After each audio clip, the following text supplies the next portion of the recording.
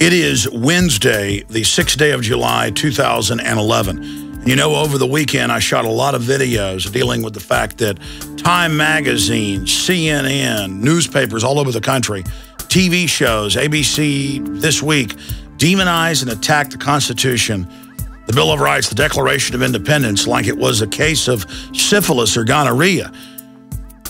Ladies and gentlemen, uh, private property rights, Second Amendment, basic freedom, uh, due process, uh, binding down the government, empowering the individual. These are the ideas uh, that are universally recognized as the bedrock of liberty.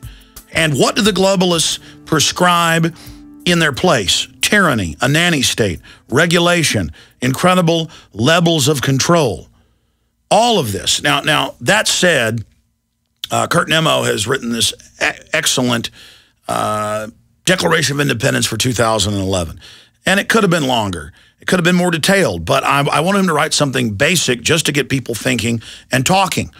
You know, we get in the mode of thinking uh, government is the boss, so whatever it does, it does. No, we have a right to say we have a Declaration of Independence against what you've done, just as our forebears did in 1776, and to state the crimes committed uh, by these social engineers. You know, if you go back to the Declaration of Independence from 1776, July 4th, it really is a continuation of the committees of correspondence where the Sons of Liberty, for more than a decade before the physical war broke out, would uh, issue pamphlets locally, kind of an underground news system when there was British censorship in the newspapers, uh, exposing the tyranny and corruption and hypocrisy of the state. And that's really what Infowars.com and PrisonPlanet.com are doing in the 21st century. We're just simply getting you to not even buy into what we believe or what we think, but to think for yourself and realize a lot of incredible things are going on.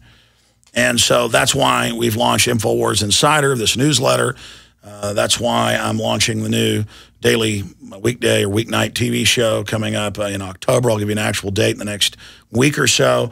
That's why we're not sitting on our laurels and the hundreds of millions of people we've reached because now the world is more uh, awake and, and, and, and ready to hear the really hardcore truths than they've ever been before. And that's why it's so important to realize that none of us are going to save the world by ourselves. None of us have the answers individually. None of us are going to be able to defeat tyranny by ourselves. And, and, and none of us are going to be able to do it with one fail strike at the heart of the dragon. It's simply spreading the culture of liberty, standing up against corruption, speaking out in little ways and big ways. Uh, it's starting a YouTube channel. It's calling into talk radio. It's visiting with your state representatives. It's filing a lawsuit uh, on the government when they violate your rights. Uh, it's simply saying no and not complying with tyranny. It's jury nullification. Juries uh, that judge the facts uh, as well as the law. Uh, that's jury's power, as the founder spoke, and as, as all of our jurisprudence uh, reported into the last 50 years, that even if you think somebody, you know, did actually commit the crime, if the jury believes the law is a fraud, that's the people's veto. Just like the grand jury um, can no-bill uh, someone who they believe acted in self-defense, even though the prosecutor uh, is trying to get them indicted. You have to exercise your freedoms and exercise your powers, or just like muscles, they will atrophy and you will lose it. And that's what tyranny is, is when the people lay down and are dominated and give into corruption, uh, that we get nightmare scenarios in society.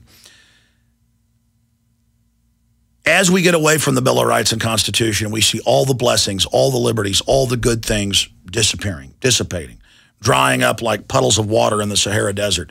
It's our job uh, to reignite those flames of liberty. Uh, and, and, and in this time of great corruption, people are ready to hear the truth. Our information stands out like a candle in the night or like a torch on a hilltop.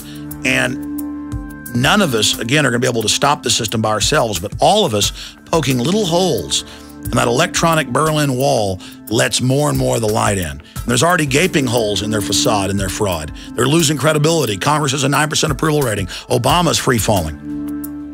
And so the system is desperate to put us back in the box. So a great battle, a great clash of ideas, liberty versus tyranny, is now upon us. We are the sons and daughters of the spirit of 1776. It's time to wake up and fight back. God bless you, my friends. and I hope to see all of you on the front lines, not behind me, but right beside me in this fight for human liberty.